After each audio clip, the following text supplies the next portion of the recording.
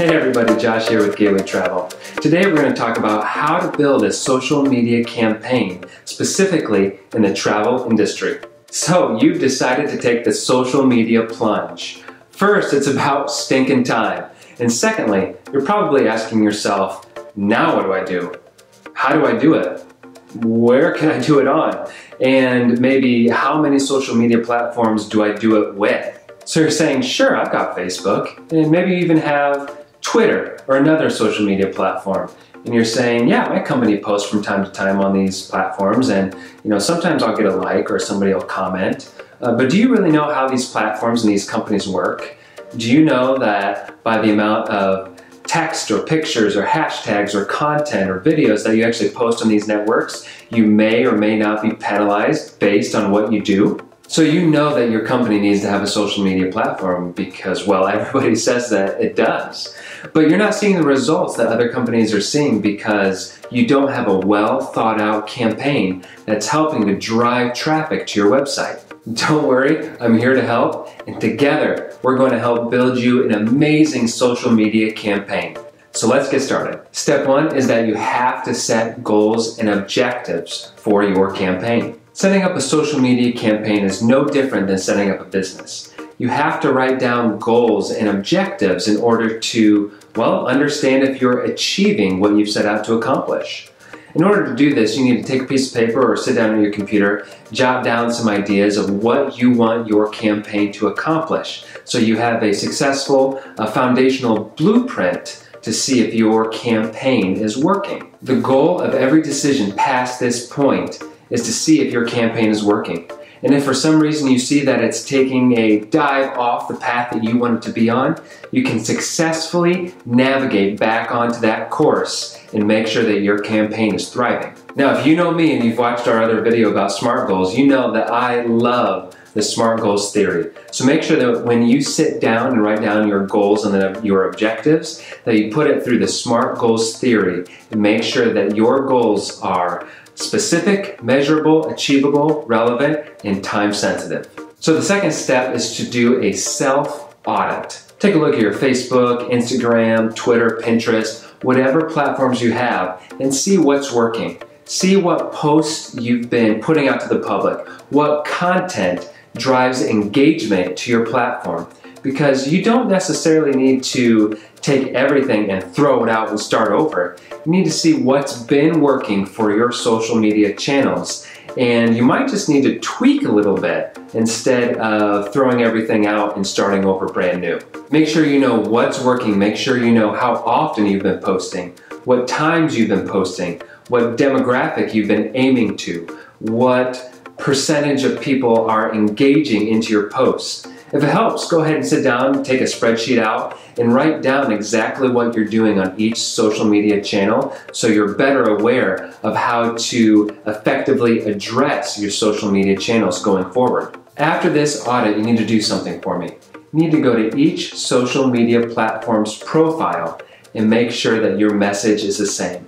You need to make sure that you have the same wording and same feel across all of your social media platforms completing your social media profiles goes a long way into helping people understand that all of your social profiles connect with each other. And it also helps your search engine optimization in directing traffic to your social media profiles and also to your website. The third step is that you have to do your research. Do you know the demographic that you're trying to reach? And are you posting on the platforms that reach that demographic? If you don't know the demographic that you're trying to reach, pause the video real quick and write that down in your goals and objectives because you have to know who you're trying to reach. Once you've made that clear, let's go back to what social media platforms you can post on to reach this demographic. Have you done your research to see what your demographic uses? Do they use Pinterest more than they do Facebook? Are they on Instagram more than they are on Twitter? You need to do your research and make sure that who you're trying to reach is on the social media platform that you're using the most. A few good questions to ask yourself are what time is my audience looking at social media? What social media channels are they using the most? Which social media channels gives my company the most engagement with the demographic that I'm trying to reach. Now, the good news for you is that most social media platforms already has this information for you. All you have to do is go into the settings and access the insights that they have prepared for you.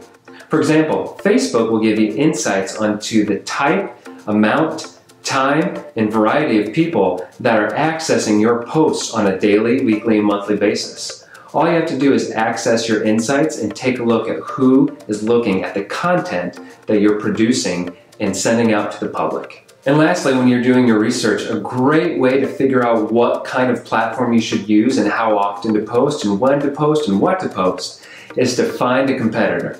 Find somebody who is way out of your league, who you know and can see is doing something right. A competitor who has the amount of engagement that you want to receive on your channel. There's nothing wrong with admiring a competitor and seeing their success, but you need to take a look at what's working and try to emulate that with your channel. Step four is that you need to create quality content.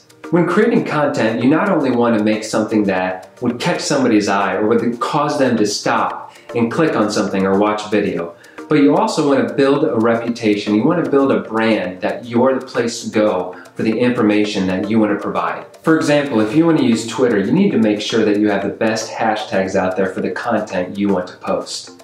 If you want to use Instagram, you need to make sure that your images are amazing, that it catches everyone's eye when they search your feed. If you want to use Facebook, you need to make sure that you not only have the, the best images, but that you also use valuable text and great videos to capture your audience's attention. Whatever social media platform you want to use the most of or is your favorite to use, make sure the content matches the format of that social media platform. Another tip for creating content is to make sure you're not salesy. Nobody likes a salesman or saleswoman to force their product down their throat. Today's consumer wants to secretly search on a website or to secretly go to, I don't know, somebody's social media page and see what they have to offer and don't want to be harassed while they're doing it. So make sure when you create your content, you come off as personable, like you're just a person just trying to love on some people. It will go a long way in reaching your demographic and getting them to engage with your posts. Our last tip for creating content is to make sure you understand that it's going to be difficult. It's going to be hard. Sometimes you're not going to want to do it. It's going to be monotonous and tedious and boring at some points. But what's helped us create content is to make sure that we know our content strategy. Make sure you understand what you want to brand to your clients. Make sure you know what you want to say to your demographic and write down what you want to portray in the next month or two months or three months. Make sure that your content matches the message that you want to send out. It will make it that much easier when knowing what you want to create instead of trying to blindly follow some pictures or videos that you think are relevant to your business. So, our last step, step five, is make sure that you're continually giving yourself an audit and seeing if your social media campaign is still relevant for your business's goals. So you're at the point where you've poured in blood, sweat, tears, time, energy, and you've run some successful campaigns. But your campaign's been running for two, three months now, and you're seeing some fall off. You're seeing that it might not be working as good as it was when you initially launched it. Now is the time where you need to reassess your goals and make sure that the campaign that you launched is still achieving the goals that you set out to accomplish. One of the biggest failures of companies out there in the social media campaigns is not reassessing their values and their targets. Now, you're saying to yourself, well, my goals are still the same, Josh, so why would I change my social media strategy? Well, it's not always about your company's goals. It's about your consumer's drive. What is driving the demographic that you're trying to reach? What do they want? Has it changed? Has it maybe just shifted a little bit? Even if it shifts just the slightest amount, it may make your social media campaign ineffective. The best way to address this is to sit down, go over your goals, make sure that your social media campaign is addressing your potential clients' needs. The last thing you want to do is to be preaching to the wrong people.